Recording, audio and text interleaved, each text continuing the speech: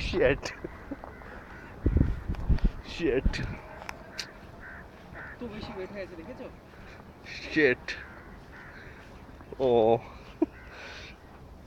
ঠিক হয়ে যাবে